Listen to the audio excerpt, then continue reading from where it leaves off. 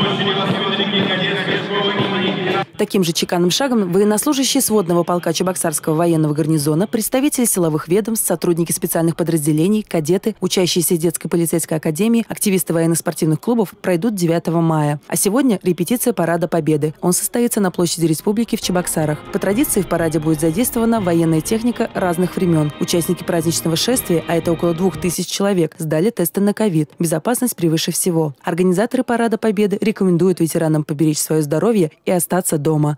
Торжественное прохождение полка будет транслироваться в прямом эфире НТРК, будет транслироваться на интернет-каналах наших ведущих телевизионных каналов для того, чтобы еще раз обратить внимание на безопасность.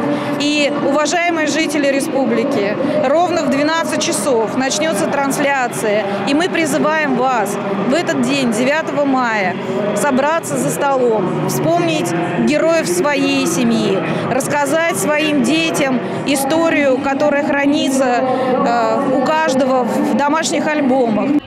Национальное телевидение покажет возложение цветов в мемориальном парке в 10 часов, а потом продолжит прямую трансляцию с площади Республики. Напомним, 9 мая на пересечении проспекта Ленина и улицы Юрия Гагарина по улицам Карла Маркса и композиторов Воробьевых будет перекрыто движение транспорта, в том числе и общественного.